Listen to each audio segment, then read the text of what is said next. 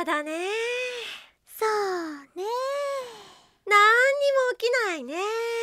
ザケンナーも現れそうにないわね。ああ暇だね。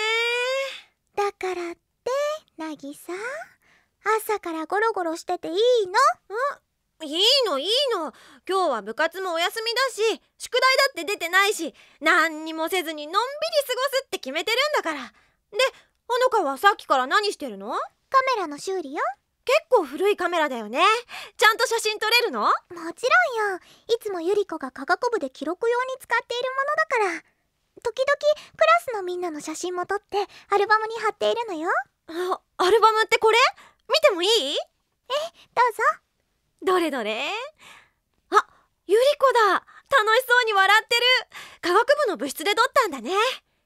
こっちは髪型を変える前の眉両手でピースサインなんかしちゃってかわいい。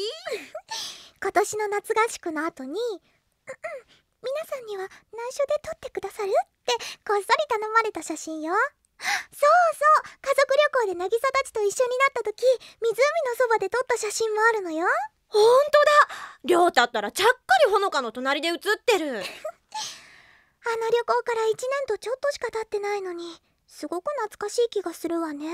そうだねあこっちはクリスマスパーティーの後かな。メガネをかけてない千秋って珍しいかも。矢部さん時々コンタクトにしてるみたいだから。見て見て。ゆいと聖子ったら2人で変な顔して写ってるよ。藤村くんの写真もあるでしょ？うんたくさんあるね。